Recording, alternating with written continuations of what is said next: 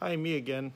Um, today I'm reviewing the Adidas mask. Uh, since we've been in this, uh, I've gone through um, my Copperline mask by Facetech.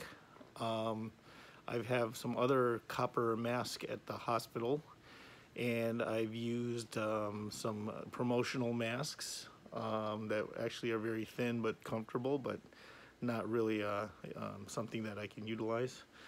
So now that we're into this much longer, since the surge is uh, actually occurring even here in Ohio, uh, I decided to again start broadening the masks variety I have.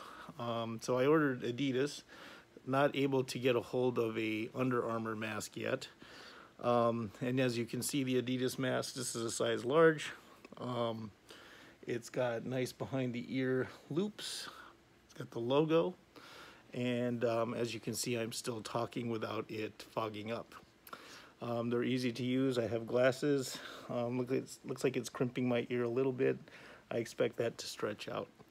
If we take it off, what we'll see on the inside is a double layer system. One is perforated and of course there's a reminder to wash dry and reuse um, and I think on this inner part of it um, you may be able to put a little filter in there so overall it's nice three pack for $20 um, I decided to give it a try. It's nice and soft and breathable. Obviously, you saw my glasses, they weren't fogging up. Very comfortable and snug under the chin and on the cheeks. Again, I have a rounder face and a bigger head, so um, it's a little snug, but I expect these things to uh, loosen up a little bit once they stretch out.